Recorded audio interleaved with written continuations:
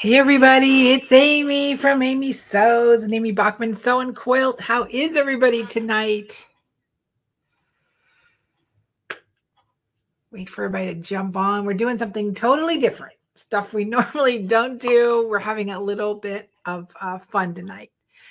Um, it has really not a whole lot the things I have to do with the subscription boxes or the store, but it's just going to be fun, right? So um, thank you all for popping in. So this whole thing came about because, as you can see over my shoulder, we do a lot of sewing, quilting, serging, scanning, cutting. Hey, Juju. Um, Bonnie. And so sometimes you just feel like doing something different, right? So I grew up my whole life crafting, and I just, I, my friends and my, my business group um, are amazing decoupagers, napkin art people, and uh, this is a little homage to my friends who, after I saw the things they did, I'm like, dang it, I'm going to go buy me a gallon of Mod Podge and see what happens. so that's kind of how this kind of about. So, um, you know, I learned from my friends at Miss Tracy Creates and that the DIY um, crafter in Canada. So this is kind of just a fun thing. Some of you ordered kits. If you don't have a kit, you can order a kit. Um, it's no big deal. It's just something kind of fun to do. All right, say hello, everybody. Tell me where you're from, and it's okay to to um, send the video out to the universe and uh, show your friends what we're doing. All right, so what we are doing is um, we are. Oops, hang on. We are working on this little art canvas, right? So we took regular art canvas, nothing's fancy couple napkins, couple napkins, and we created this two-sided little stand, right? It stands up. So those of you who like to decorate with the tiered trays, or you want to put it on a little shelf, makes a perfect little hostess gift because it's inexpensive and it's something fun to do. Hi, Miss Vicky. All right, so let's go. So it's very simple. You're going to use, I just used regular Mod Podge, right? Nothing earth shattering. Just regular. Okay. Foam brush, normal dollar store stuff, and the art canvas. So I'm just going to put a light coat on here.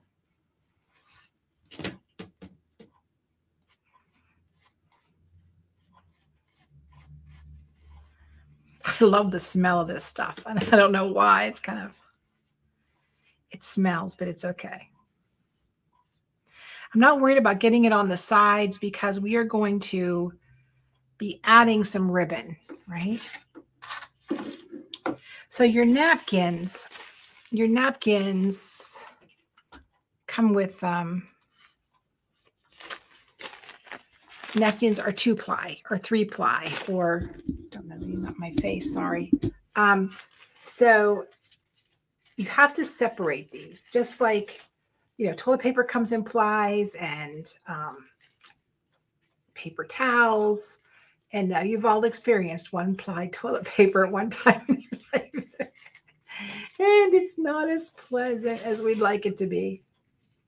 So you're just going to separate these guys. I have one already separated. Let's put my glasses on. Unfortunately, there's probably a better way than just kind of putting, you know, wetting your fingers, but this takes half the battle is getting this done. Anyhow, you're going to separate the napkin so the white piece on the back is gone. Oh, hi, Reen. Um, it is just a napkin, right? So you have two napkins. If you got the kit, this is what the kit looked like. You've got your two napkins, your ribbon, your art canvas, and um, you got a download for the embroidery files. So our napkins, you you can get four or six out of one napkin. So you can pick and choose the napkins you want to use. I'm going to be doing the pumpkin one.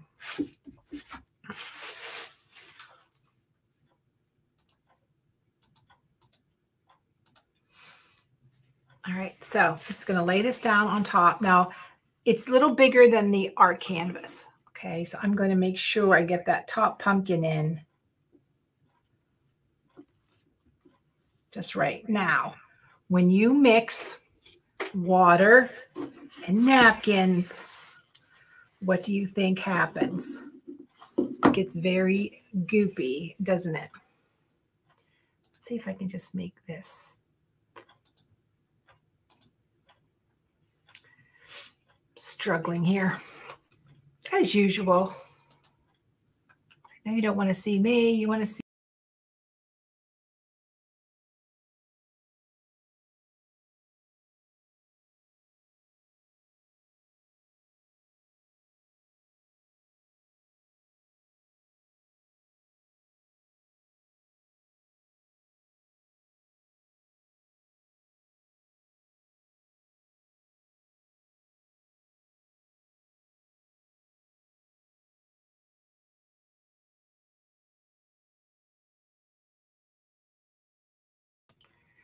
All right, we got to go back to here if you want to hear me. Here we go.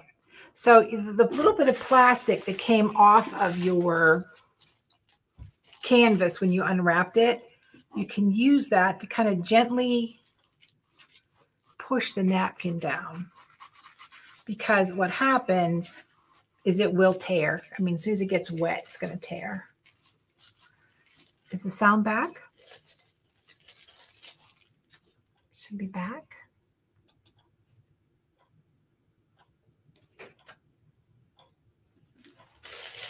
Are we good? Can you guys hear me now? Okay, good. Thanks, Ed. Ed's at home trying to get stuff done. So that's done. And then what I like to do is I like to dry it just a little bit. And I am like a fish out of water here because I am not sewing, doing crafts. And I love to do crafts, but not live. So I'm just going to use my heat gun and uh, or a hair dryer and try to get some of the tackiness off of here.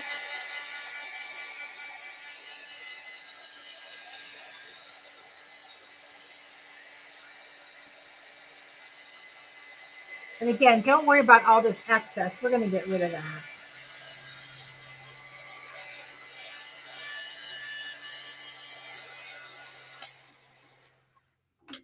So impatient. If you guys don't know that about me, I am so impatient. So now you can just kind of pull down a little bit. And remember, we're going to cover this edge with ribbon. Right? And if it's wet, it's going to tear. So you can even wait till the whole thing is dry to get rid of that. So you're going to be making two sides. You're going to be making one that says thankful if you want to, right? And I think this would be a great thing to reproduce for um, embroidery and word art, you know, where we have those collages of words. It would be very easy to um, to duplicate. All right, so this one is nice and dry, so you can see how that pulls away. And the one things that um, Miss Tracy does when she does her napkin, she has a little um, sanding block. She just runs it over the edge and it just trims it right off, nice and easy. So you might want to see where we're going here. And um, I'll turn my glue gun on. I know a girl shouldn't flex, but look at that glue gun. when you ask my son the, for a tool, you get a tool. You just don't get a glue gun. This was my Christmas present last year. And I'm like, thing scares me. but it's it works great. So what can I say? All right. So once it dries, and this one's not quite dry, dry enough, I'm gonna switch to this one that is dry. And then we're gonna put another coat on it just because you want to seal it nice. If you were going to put these out on your porch, you might want to use a, a spray a, acrylic sealer, you know, when it's all done. You do not have to put gobs and gobs on your artboards. You just need enough to coat them.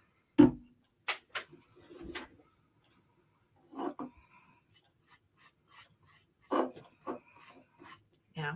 So me crafting's like watching paint dry. there's no embroidery machine moving. There's no serger moving. There's no scan and cut moving. There's nothing. Although the scan and cut box, we just opened it up for new members. So if you think you might want to join, now's your month because the October project is stunning. we're going to do every other month is going to be some sort of fabric project. And uh, we are doing the art of cartonnage in October and it is so much fun. So you can see that's pretty milky, right? It dries very clear. And I will tell you, the more you fuss with it, the more chance you have to tear it. And trust me, I learned the hard way because I'm impatient, right? So this is what it looks like after the second coat. See how clean and shiny that is? That's so pretty. I know. So while this is drying a little bit, let's talk about doing the freestanding embroidery to add to your details.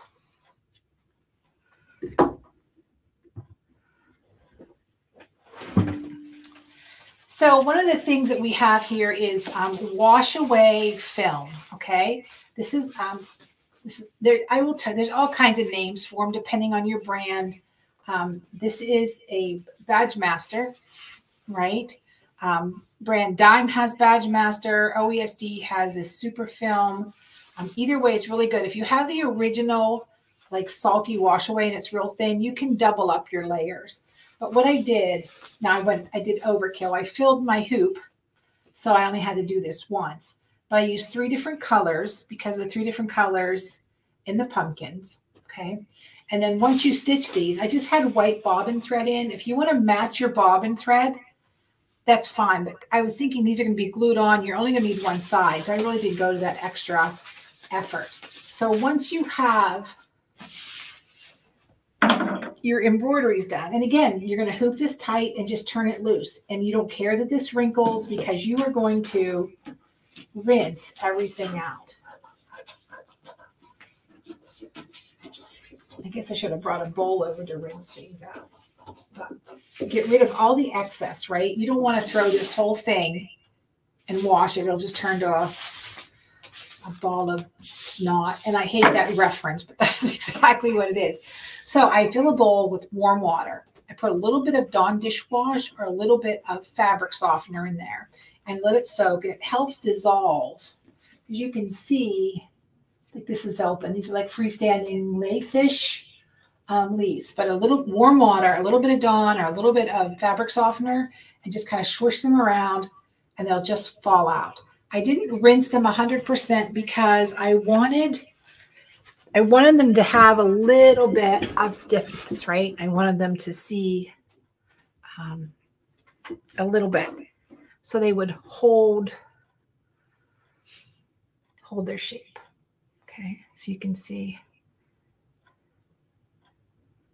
Now you can do them all one color, you can do them whatever. But I was looking for another project to do with the embroidery just to kind of have um, some fun, right? Okay. So our two boards that are done. That's what the other one. So the other one is still really wet. So we may put two of the same together. Start to dry in here. Now, if you're using a heat gun, if you get too close, it's going to burn or bubble, right? So you want to make sure you are not, keep that heat gun moving or you're going to be in trouble.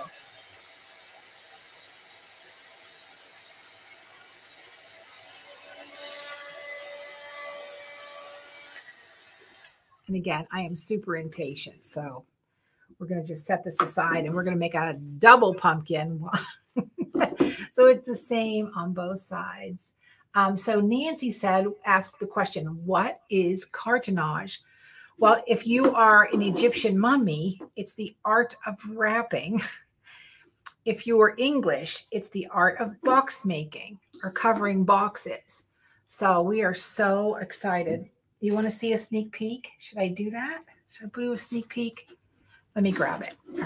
I shouldn't do it, but I'm going to do it. Because those of you who want to join um, the scan and cut box, now's your time. And uh, you ready? Well, let me let me make it pretty. Hold on. Let me make it right so you can get the full effect. So you're going to be we're going to be cutting fabric, we're going to be cutting chipboard, and we're going to be cutting vinyl. So let's take a look at this. Let's get my little cord out of the way. You're going to untie the bow. You're going to open it up and a beautiful box appears. So not only are you going to be cutting chipboard, you're going to be cutting fabric and you are going to be cutting heat transfer glitter vinyl. Also, we're including embroidery designs that you can embroider your fabric before you make your box. So that is a lovely way to present a gift card.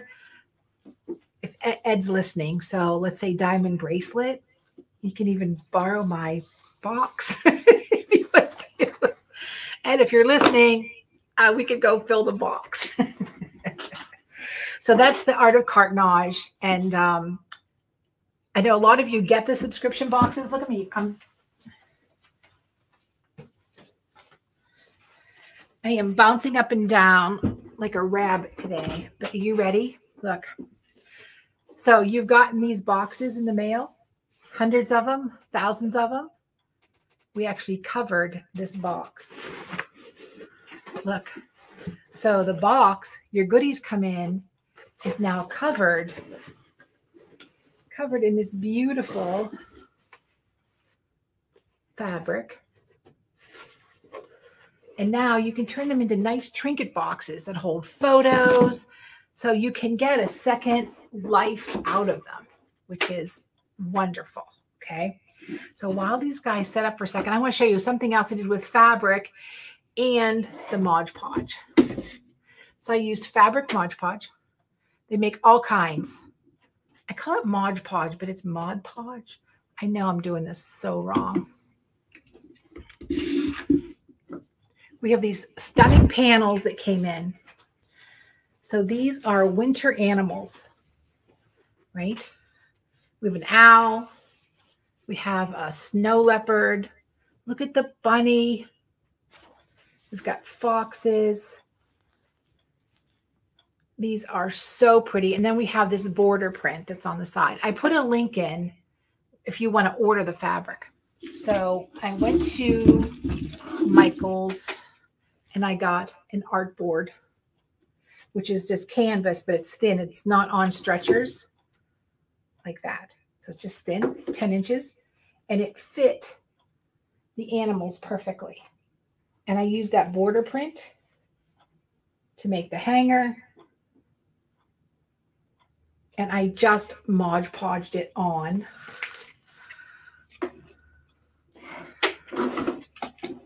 The artboard. And then I went to the floral department and I got a little fancy thing and put it on there. How cute is that? The border fit perfect. Um, I sprayed it with a little bit of acrylic sealer. It's perfect to hang on your door, to add to a wreath. Um, it's just prop it up on an easel. I just thought it was the fabric was so pretty. So anyhow, that's the other thing we've been going on. All right, now let's get to sort of working on our little project here. Now, this one has two coats. This only has one.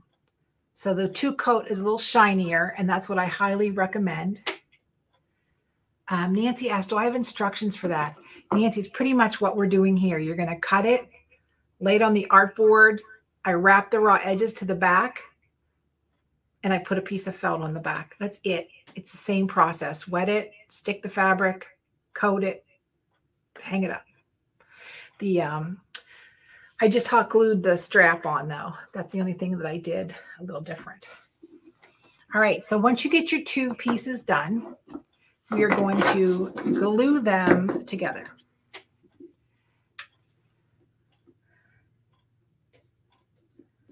I'm going to use the hottest, most powerful glue gun on the planet.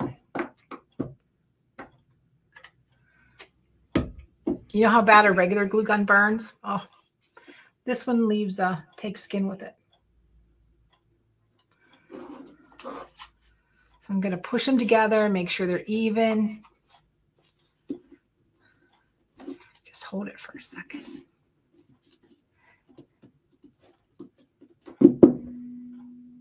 Oh, Janet, I will email you the embroidery design tonight. If you bought the kit in the store and didn't get your design, I'll I'll email those tonight. Um, they're going to come in DST format, which is for everybody, including Janome. Everybody was worried about that. Okay, so now that they are attached, we're going to be adding our ribbon. Okay, this is um, one inch ribbon, which happens to be the perfect width for two canvases. Now, I have seen um, doing this on any fabric on art canvas. Stretch a beautiful panel on art canvas and hang it on your wall. Nobody's not going to know that's not a painting. And there's so many gorgeous digitally printed canvases out there. My heavens, we are just so excited. All right, so now we're going to, wherever you want your bow, I happen to be an off center bow person. That's kind of just my thing. Wherever you want your bow, you're going to start your ribbon there. If it is a middle bow, start your ribbon in the middle. Okay. All right, so I'm going to start over here. I'm just going to give myself a little bit of glue. And you don't need a ton of glue for the ribbon. And just do a little bit at a time. This is so much fun crafting. So when I was getting ready for this today, and uh, a customer came in and she said, "Oh, are you going to be carrying the the supplies and the ribbon and everything?" Um, I thought Zach was going to have a stroke right then and there. if you've been in our retail store, it is really full. And so there's no room to add this. Plus, you guys can get this stuff now at the dollar store. I mean, it's everywhere. You can order kits from the Crafty DIYer or Miss Tracy.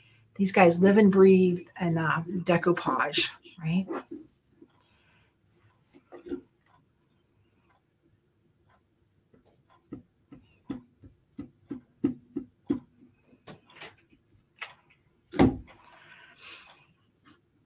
also today when I was kind of getting ready, I um did a bonus video for my scan and cut people on doing direct cut, how to make stickers and bookmarks.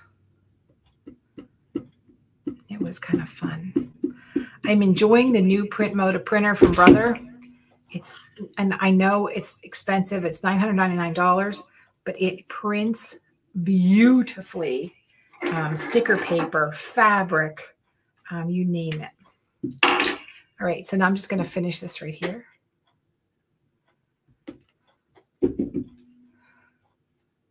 And if you're afraid of getting burnt, use a toothpick or use something to.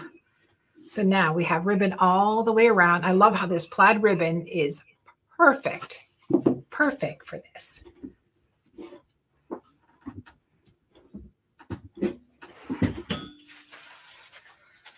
Not that this has anything to do with tonight, but I want to show you. This is the direct cut that I did for the video.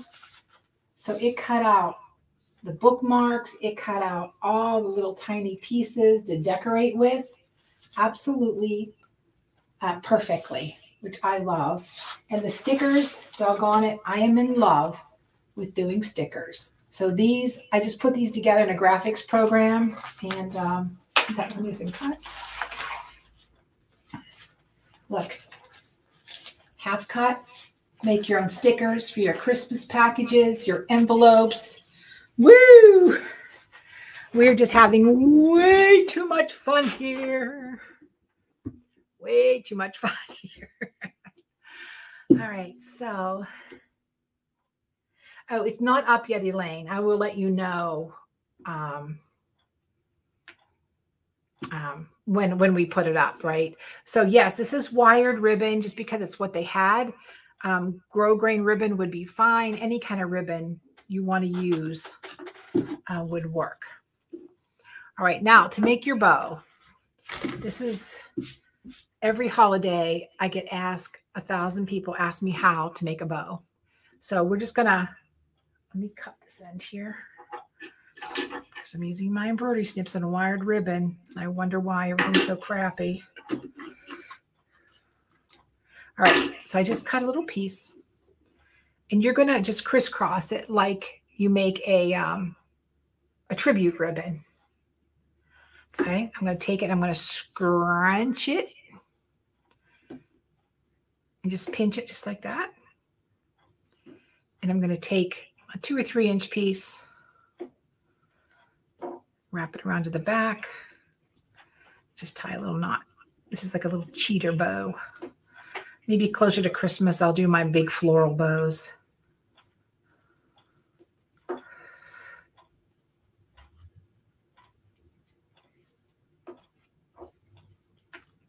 And you just kind of manipulate it.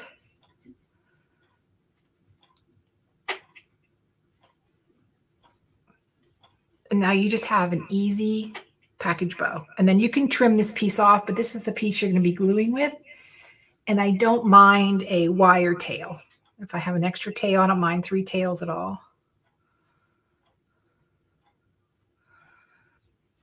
And I'm just going to attach it kind of kind of forward, right? Not exactly on the top, maybe a little more to the front.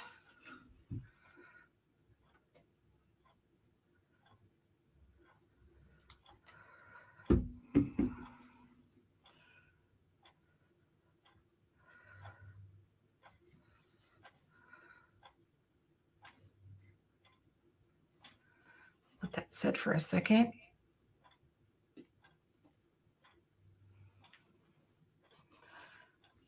And you want to take these and trim them kind of at an angle.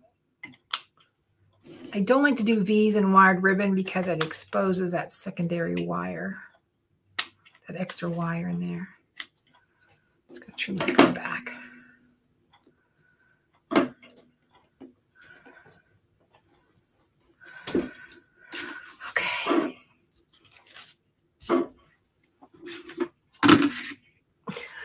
Process, I've lost all my embroideries.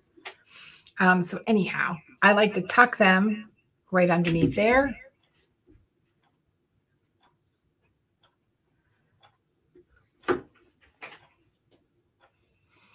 Again, I'm just going to put a little bit of glue on it. My pile of embroideries have disappeared. I think they fell into my cabinet.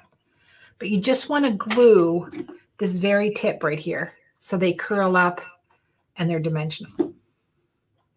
And add as many of those as you like. Oh, look, I'm so dish. I thought it was so prepared. Doggone it.